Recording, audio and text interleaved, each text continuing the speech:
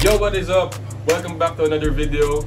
And today, I consider myself a budol victim kasi it is new helmet day. Meron naman akong helmet, why would I need another helmet?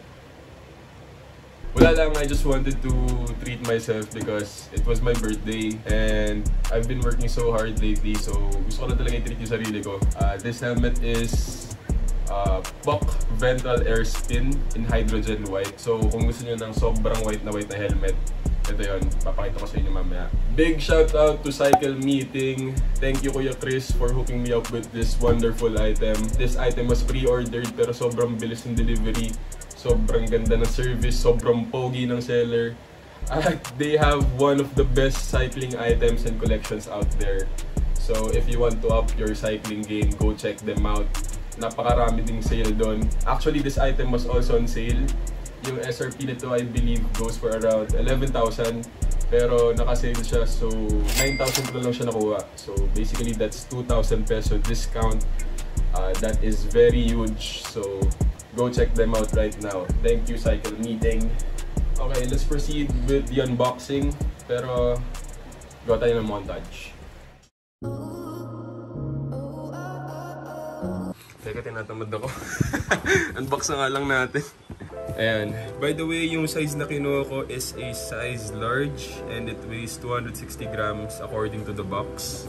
And ayan, buksan muna natin. Ayan yung itsura niya. Uh, pa ba? Wala na. So, nothing too fancy. It is stored in a secure way. Ayan yung sabi ko sa, sa inyo kanina. Uh, if you want a really white helmet, this is the helmet for you. Sobrang white niya. Nakakatakot madumihan. Ano pa ba laman ng box? I think this is a helmet bag. Teka, tanggalin natin to. Ano to? Helmet bag to. And it's also in color white.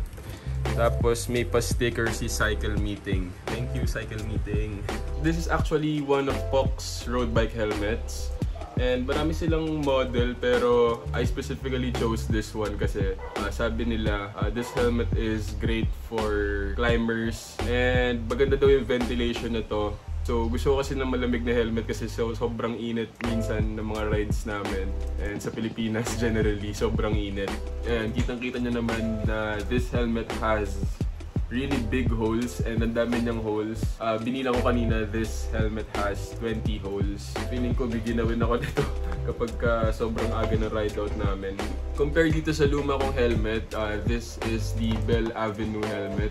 This helmet has only 18 holes and maliliit lang yung butas niya. Ang isa pa sa mga nagustuhan ko dito sa helmet na to, yung styrofoam niya, ito has uh, hard shell protective casing. Unlike dito sa Bell Avenue helmet ko, uh, naka-expose pa yung mismong styro niya so medyo bakbak na kung makikita nyo.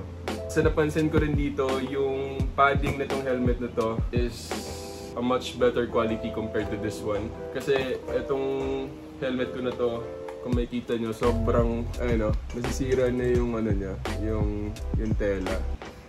And natatanggal nga. Pero hindi sa sinasabi ko yung pangit yung helmet na to. Isa to sa mga best for the money na helmet. Sobrang bang for the buck na to. Uh, gawin ko rin to ng long-term review if ever I have the time. So again, this is the Bell Avenue helmet. Also, I've been wanting a helmet na nakamips na. Pero si Pop kasi has their own technology which is called spin. Ayan kung makikita niyo dun sa pad. It stands for shearing pad inside. And yung main purpose niya is to protect your head from the rotational forces kapag ka bumagsak yung ulo mo from a crash. And basically, pare siya ng purpose with MIPS. Pero uh, gumawa si POC ng sarili nilang technology. Sa pagkakaalam ko, parang kinakasuhan ata sila ngayon ni MIPS kasi uh, parang kinuha nga nila or inagaw nila yung technology ni MIPS dun sa protective stuff. So, I don't know with them. Pero medyo kampante na ako dito sa helmet na to kasi uh, it has more protective features than my previous one.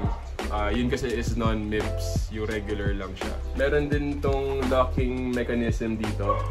Ayan, yung knob niya. Wait lang. ASMR.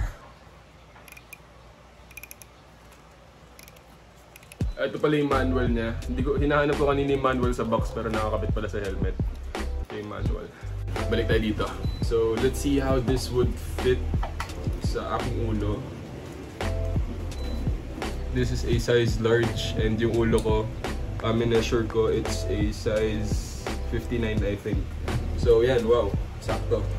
Ganda ng fit. Yan.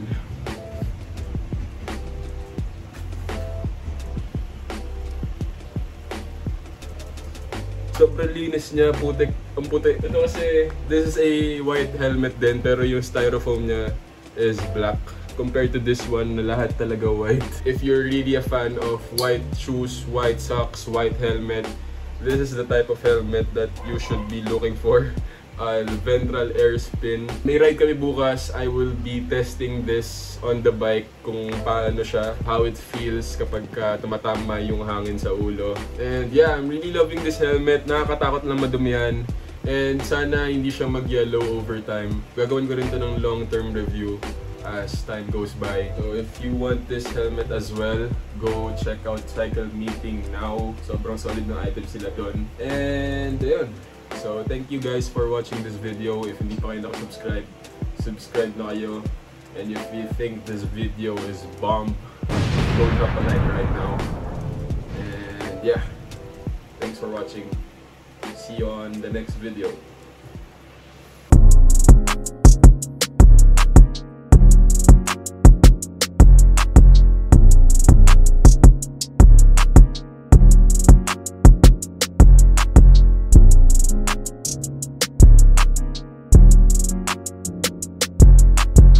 Nakakatakot madumihan tong helmet ito, sobrang puti.